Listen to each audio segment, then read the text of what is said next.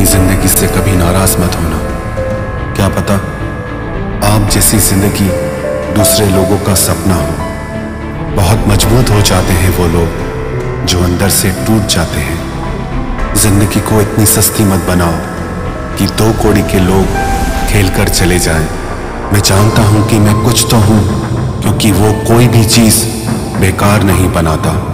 परखता रहा उम्र भर ताकत दवाओं की। दंग रह गया देखकर। ताकत दुआओं की। प्रभु कहते हैं, तू सोने से पहले सबको माफ़ कर। मैं उठने से पहले तुझे माफ़ कर दूँगा। अकेले रहना अच्छा है, बजाय उनके साथ रहने के, जिन्हें तुम्हारी कद्र नहीं। ज़िंदगी एक ऐसी किताब है, जिसके हज़ारों पन्ने अभी तक आपने नहीं पढ़े हैं। किसी ने क्या खूब लिखा है? ये पसंद तो बहुत हूँ सबको। और जब उनको मेरी ज़रूरत होती है, तब कभी मैं अपने हाथों की लकीरों में ना उलझा, क्योंकि मुझे पता था कि किस्मत का लिखा भी बदला जा